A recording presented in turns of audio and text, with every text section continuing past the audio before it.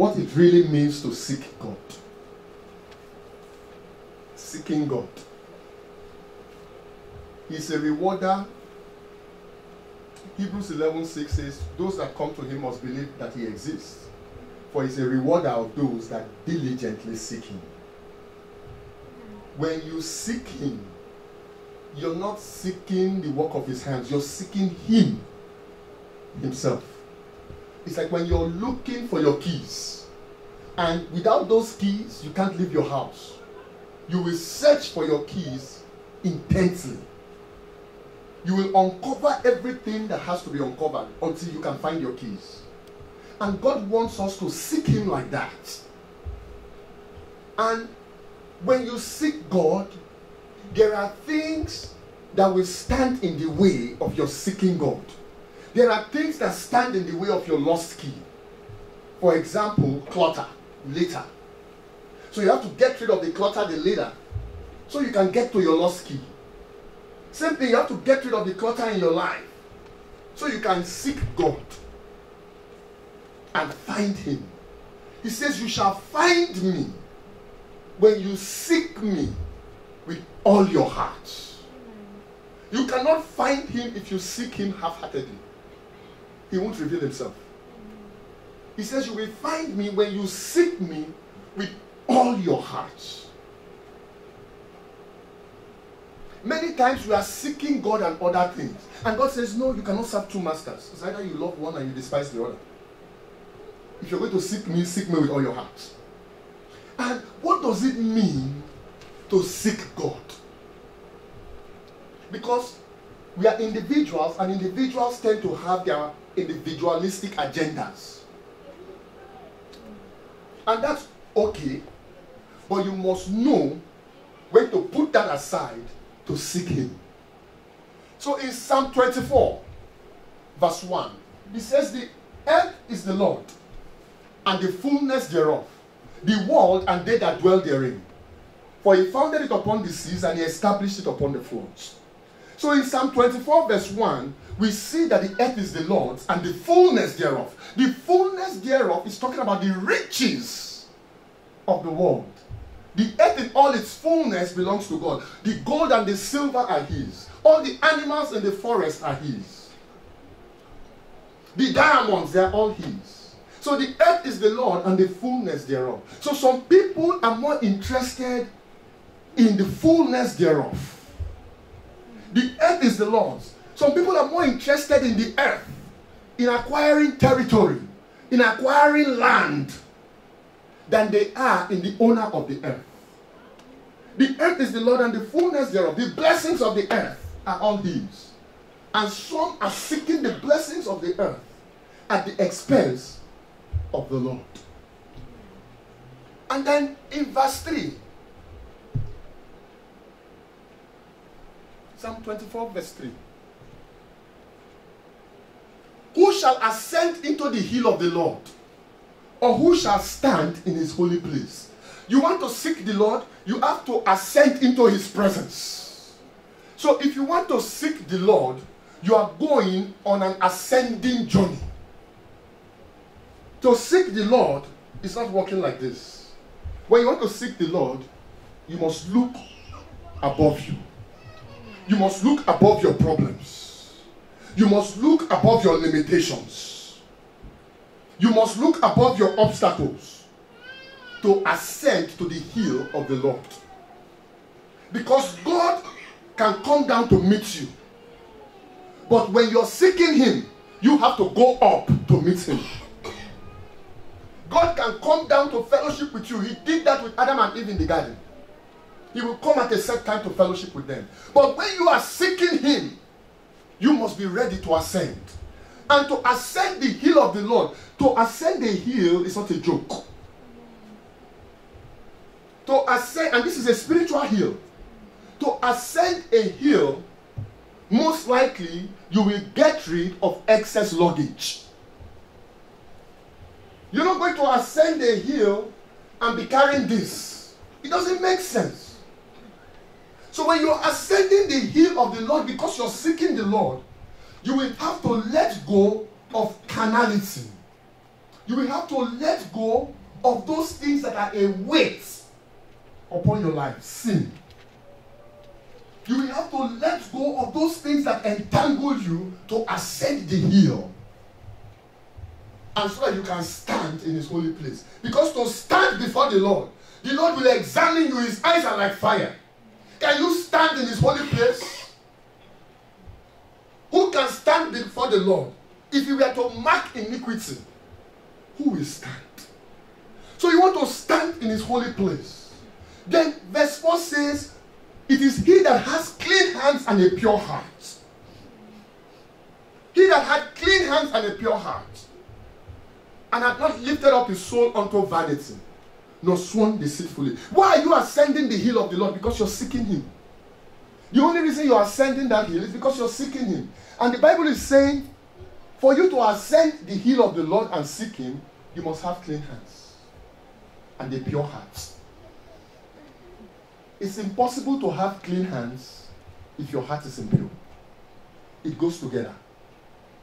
So he said you must have clean hands and a pure heart. Who can stand in his holy place? Because when you stand before him, he will check your hands and he will examine your heart. So when you're seeking God, the Holy Spirit is God. So the Holy Spirit in you knows that you're seeking the Father. So the job of the Holy Spirit is to begin to give you a heart of righteousness. The Holy Spirit will begin to convict you. That's why it's convictor.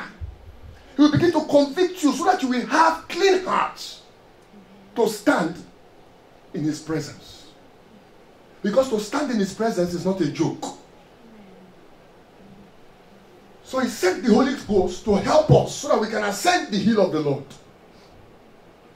Who has not lifted up his soul unto vanity? When you lift up your soul unto vanity, that means you desire things that have no eternal significance. And if your soul is lifted up unto vanity, how can you seek the Lord and seek vanity at the same time? It's impossible. Not sworn deceitfully. Verse 5. He shall receive blessing from the Lord. There is a blessing in seeking the Lord. Today we are talking about seeking the Lord. What, what, what does it mean to seek the Lord? There is a blessing in seeking the Lord. Many people don't know that. When you know that there is a blessing, you will seek Him. The Bible says He is a rewarder of those that diligently seek Him. So if there's a reward, a reward is a blessing. It's a reward, a blessing. He shall receive blessing from the Lord and righteousness from the God of his salvation. Let's stop right there. Not only will you receive blessing, you will receive righteousness. Why? Because the Holy Spirit in you is giving you a right heart, creating me a clean heart. That's the Holy Spirit doing that. So you receive a clean heart so that you can stand in his presence. And when you can stand before him, you are in a position to ask him. And righteousness from the God of his salvation. Verse 6. This is where we are going to. This is the generation of them that seek him. Which generation are you? Are you in the generation of seekers?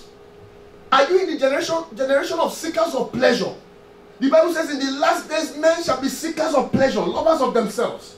Or are you in the generation of those that seek blessings only? Are you in the generation of those that seek only what he has to give, the fullness of the earth? Or are you in the generation that seek him for who he is? That seek his face. When you seek God, you cannot seek God apart from his word. You can never separate Jesus Christ from the word. So it is impossible to say you're seeking God and you're not in the word.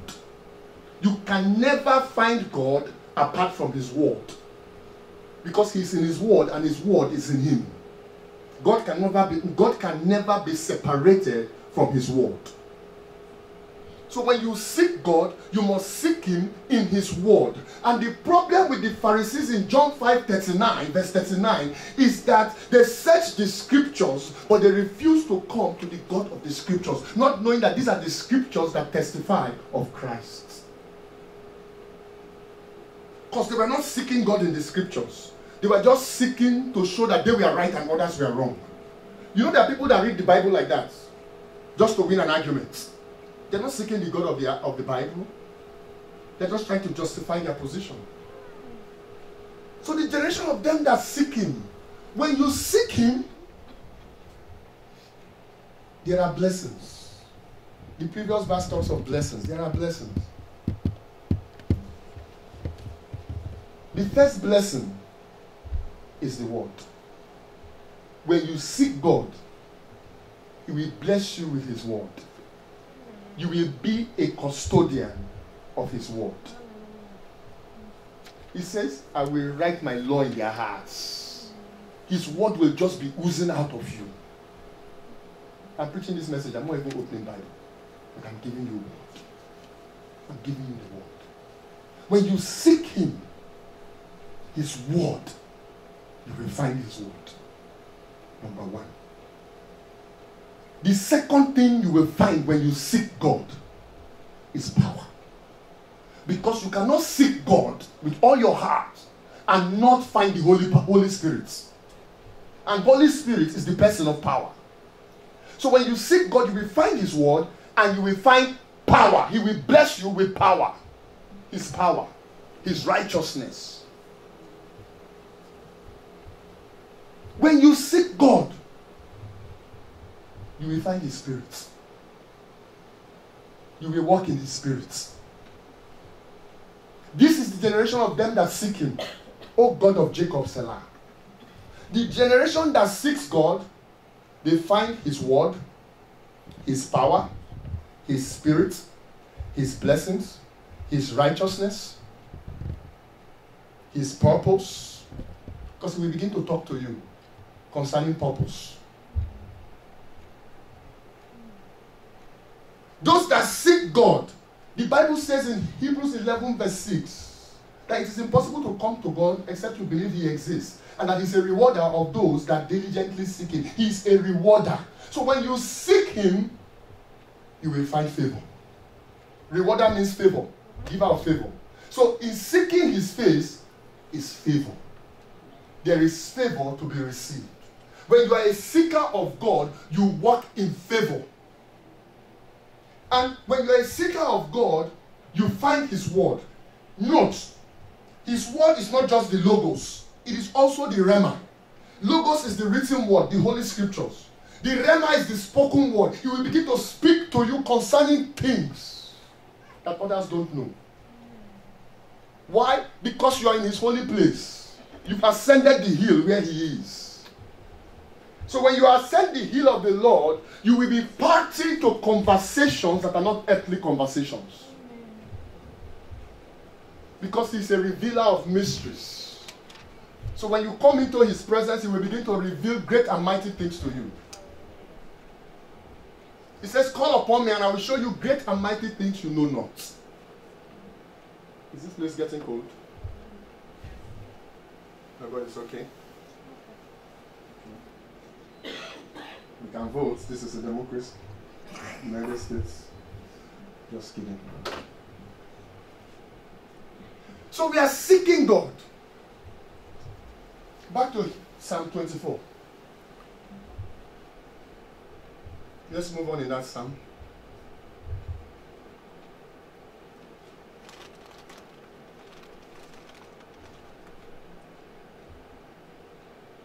Verse 7.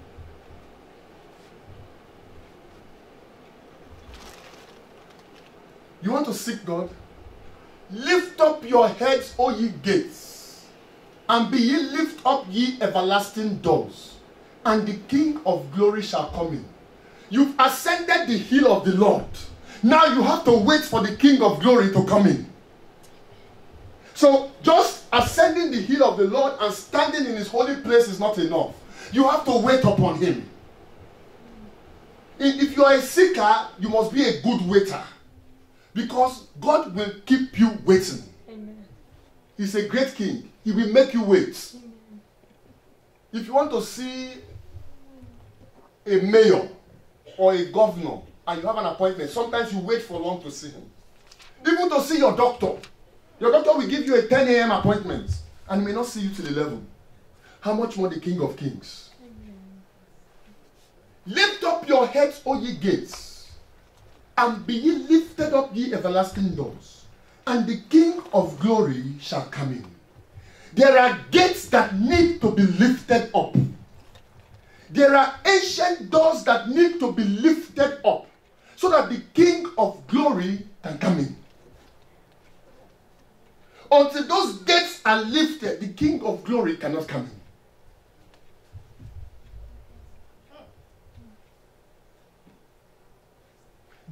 Are barriers. Doors are barriers. Not so. Why would you put a gate? You put a gate to act as a barrier. Not so. So that nobody can just go in and go out. Come in and go out. So the gates, the barriers have to be lifted up. So that he can come in. He says to the church in Revelation 3, verse 20, He said, I stand at the door and I knock. You will let him come in. So the gates have to be lifted up. What are those gates in your heart? What are those doors? What are those walls?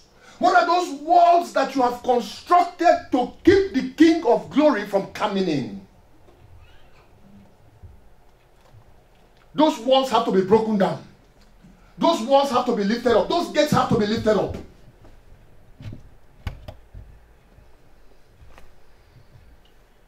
Sometimes the flesh, if all the time, the flesh is the worst gate. The flesh is a gate that hinders the King of glory from coming in. Because we are walking in the flesh. And the Bible says, In the flesh dwelleth no good thing. The flesh. Self righteousness. Unforgiveness.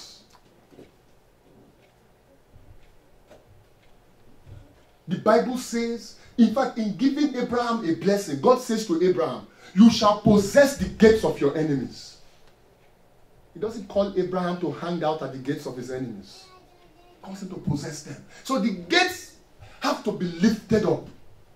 Now, many times the King of glory does not come in because we have limited him to our own capacity. Who understands what I'm trying to say? In fact, you must pray and say, God, help me not to limit you to my capacity.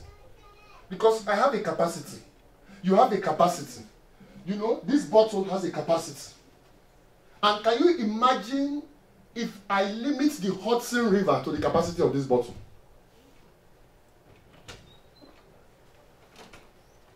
And you must say, God, help me not to limit you according to my capacity. Enlarge my capacity for you that you may come into my life with all your fullness. So lift up your heads, O ye gates. Be ye lifted up, ye everlasting doors, and the King of glory shall come in. When he comes in, things must change. Because when he comes in, he is coming in to enforce and execute his word. Anything that contradicts his word has to go. So when you lift up the gates, you crucify your flesh so that he can come in. He will come in and begin to rearrange your life. Because he's a rewarder. He will begin to rearrange your life. You say, No, this is good. This is not good. This is from the enemy. Let this go. Let this come. You begin to do that. And as he's doing that, you'll be saying, Ouch! Ouch! Ouch! You say, know. Have you ever been to the dentist and the dentist make I hate them drilling my teeth. I just that thing annoys me. Um, sometimes I say, is there no other way you can do it? They say that's the only way. You know? And sometimes Jesus will come in and he will start to do some drilling. And sometimes when he's drilling, there's no anesthesia. Sometimes. But at the end, Amen. you see the fruit thereof. Verse 8. Who is this King of glory that wants to come in? You have to ask. You have to ask. That is a question. Who is this King of glory? You better ask. Because there's an impostor. You better. Because there's another one that comes as an angel of light. Amen. And he may want you to think that he's the King of glory.